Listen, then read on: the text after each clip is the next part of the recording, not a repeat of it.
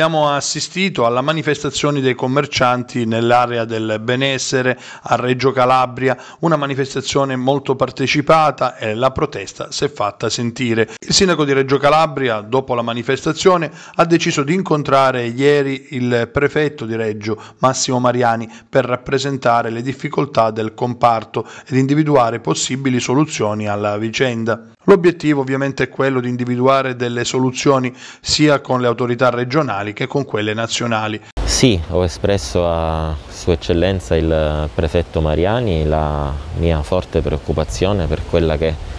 è la situazione relativa alle chiusure dei eh, centri estetici, dei parrucchieri, dei barbieri e anche la prolungata chiusura delle, delle palestre. Ho espresso la mia preoccupazione anche rispetto a uno stato di eh, insofferenza sempre maggiore e sempre crescente che condivido da parte dei nostri imprenditori, da parte dei nostri artigiani, perché è oggettivamente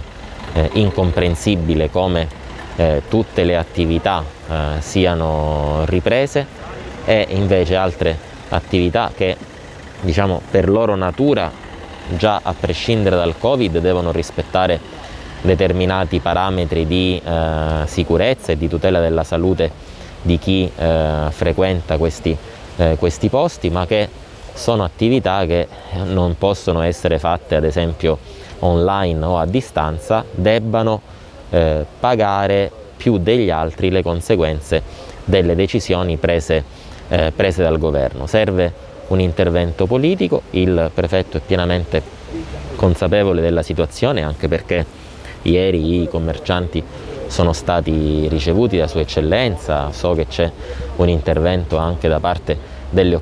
delle associazioni di eh, categoria, noi come, come, ANCI, come Associazione Nazionale dei Sindaci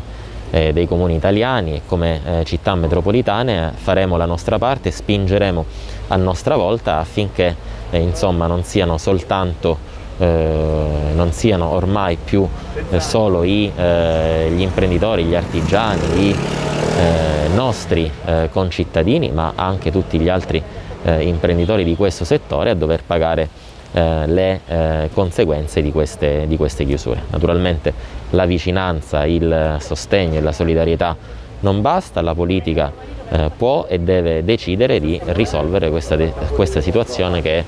oggettivamente incomprensibile a tutti.